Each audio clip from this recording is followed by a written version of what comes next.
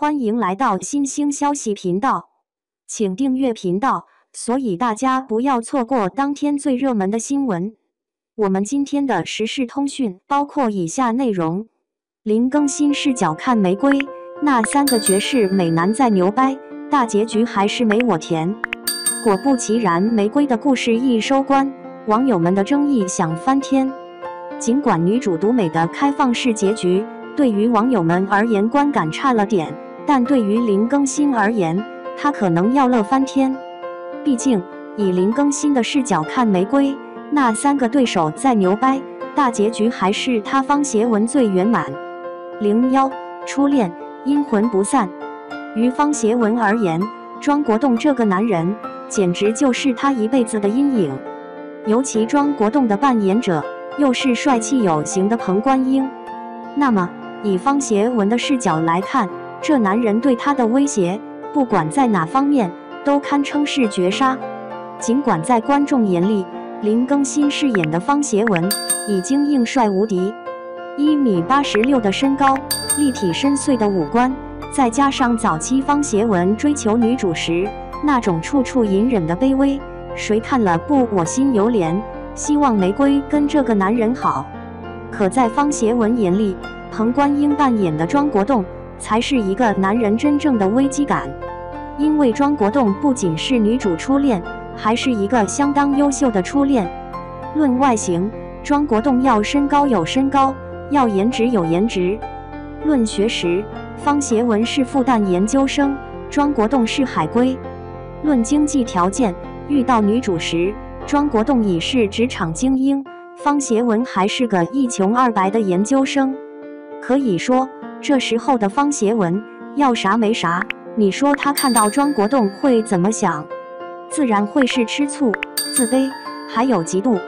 站在方协文视角，他为了追求女神，又是跟女主在同一家快餐厅兼职，又是怕女主危险，自己骑着二八车默默守护，还为了女神咬紧牙关租房子，甚至无偿帮助女神养猫。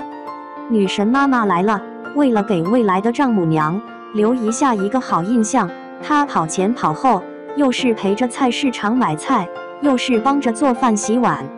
说白了，方协文把他能做的一切都做了，可他仍觉得自己比不过庄国栋，因为在方协文眼里，庄国栋有钱，钱就是庄国栋最大的底牌。尤其庄国栋跟他说过一句：“玫瑰吃过好的，也可以吃差的。”那是他有包容性，不代表他没有自己的判断标准。就冲这一句话，方协文他能记庄国栋一辈子，也会一辈子跟庄国栋比。正是因为内心不安，所以婚后方协文控制欲超强，他不让女主工作，不让女主化妆，甚至连穿裙子、做美甲都不可以。看到这样的方协文，观众隔着屏幕都替女主感到窒息。甚至就连林更新本人都直呼彻底破防，因为自己的亲朋好友们也是一边追剧一边骂。可当追到大结局时，忽然就理解了为啥方协文如此讨厌庄国栋，因为庄国栋这个初恋始终未婚，并且阴魂不散。最关键的是，庄国栋甘愿当一个替补队员，只要有机会了，他肯定会从法国回来。约女神吃饭，问还有无机会复合？试问这样一个初恋，时不时出现你身边，谁不讨厌呢？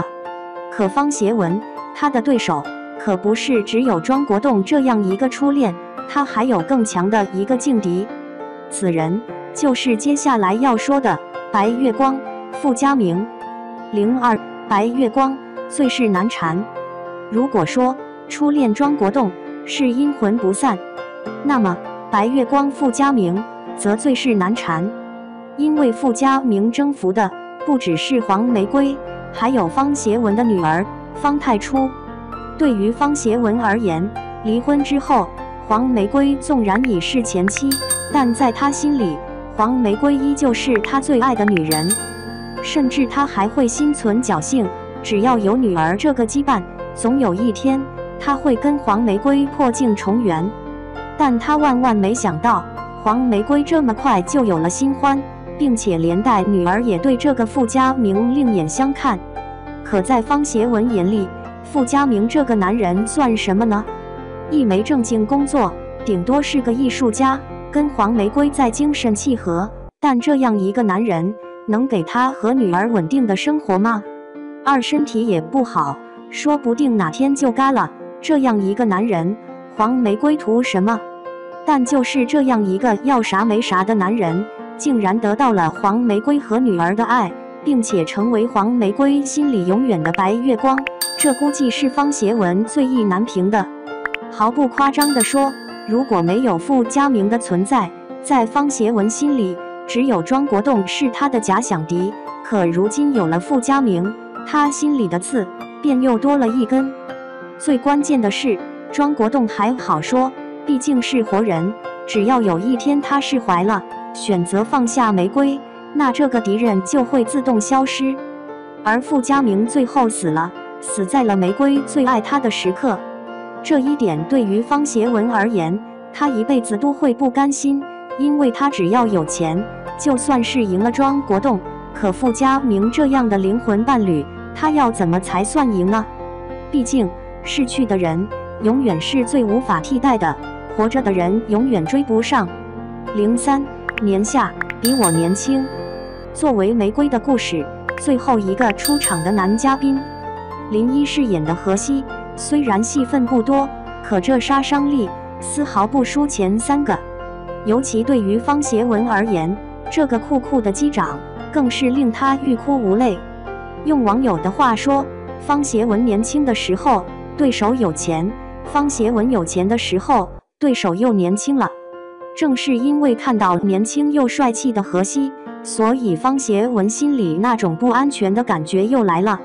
比如，他问女儿。妈妈是不是一直跟这个教练学开飞机？比如他试探玫瑰，是不是在跟这个教练约会？哪怕玫瑰告诉他自己只是跟教练学开飞机，并没有其他想法，但方协文内心依旧会存有那种熟悉的嫉妒。只不过这一次的嫉妒更无解，因为对方年轻，年轻就代表一切可能，而他已经老了。看到这里。我们不难发现，林更新饰演的方协文真的是为玫瑰操了一辈子的心。他希望把玫瑰牢牢地掌握在手里，可偏偏他爱上的玫瑰永远都是那么自由而热烈，永远都无法安定。所以，站在方协文的视角来看，玫瑰永远都在恋爱的路上，而他的对手永远都不会只有一个。零四破镜虽没中圆，却是最甜。大结局时，女主帅气地骑着摩托车，自由地穿梭在山林之间。她没有选择任何一个男人，但却比选择更强大，因为这代表未来还有无尽可能。而曾经深爱她的那些男人们，个个都是竹篮打水一场空。初恋庄国栋得知追求玫瑰无望后，决定彻底放下。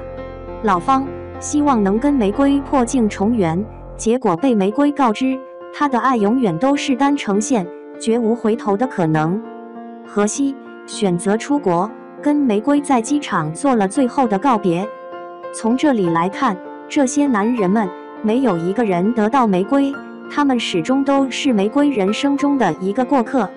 可站在方协文的视角，尽管他最后也没有跟玫瑰在一起，但他的结局仍是最圆满。结局最后。老方在北京开了分公司，还给女儿买了房子，自己也搬到了北京。他离玫瑰和女儿更近了。甚至老方跟玫瑰和解之后，跟大舅哥也冰释前嫌，最后混到还能时不时提着东西上玫瑰爸妈家吃饭，一家人其乐融融。可以说，老方除了没名分，但与庄国栋、傅家明、荷西相比。他才是永远可以陪伴在玫瑰身边的那个人，并且是玫瑰永远的家人。看到这里，不由得佩服林更新的选角眼光。纵然方协文这个角色前面一度被人讨厌、被非议，可大结局时的方协文也是被很多人理解和释怀。